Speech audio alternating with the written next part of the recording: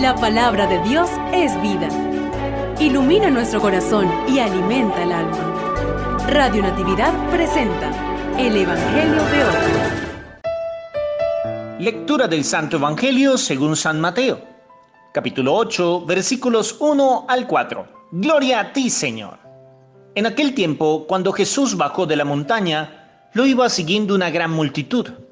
De pronto se le acercó un leproso se postró ante él y le dijo, Señor, si quieres puedes curarme. Jesús extendió la mano y lo tocó diciéndole, Si quiero, queda limpio. Inmediatamente quedó limpio de la lepra. Jesús le dijo, No le vayas a contar esto a nadie, pero ve ahora a presentarte al sacerdote y lleva la ofrenda prescrita por Moisés para probar tu corazón. Palabra del Señor. Gloria a ti, Señor Jesús.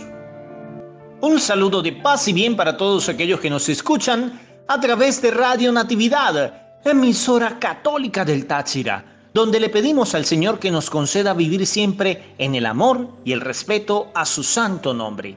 Hoy, queridos hermanos, hemos escuchado en el Evangelio una hermosa exhibición de lo que es la fe. Señor, si quieres, puedes curarme. Hay que entender algo. Esto es cuestión de si el Señor quiere, no de exigirle. Por eso hoy escuchamos en el Evangelio cómo aquel leproso se acerca con ese acto de fe. Señor, si quieres puedes curarme. Qué bien pensado lo hizo aquel hombre. No le dijo, Señor, puedes curarme.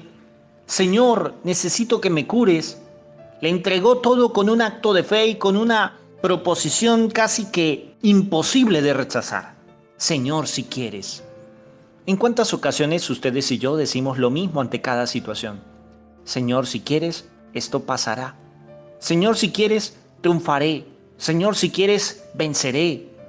El Señor siempre quiere. Lo importante es que nosotros nos entreguemos a su voluntad. ¿Y tú? ¿Te estás entregando a la voluntad de Dios? Más aún, agrega el texto, no le vayas a contar esto a nadie, pero ve a presentarte al sacerdote y cumple con la ofrenda.